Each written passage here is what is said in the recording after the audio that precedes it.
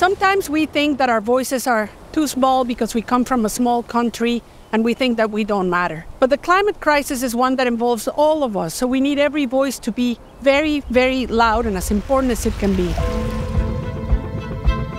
As a scientist, when we were building SeaLegacy, I couldn't help myself but to adopt a scientific framework to guide our storytelling and to help us measure our impact on behalf of the ocean.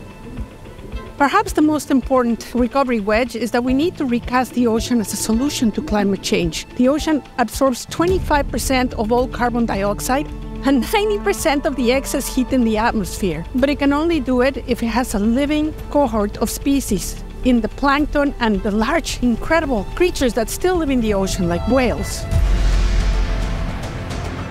I believe that we can get it done because planet Earth and the nature it harbors is resilient. It wants to recover, and it needs us to change our mindset of consumption and capitalism. In order to tackle an issue of such urgency, you need to be really passionate and you need to keep a positive focus.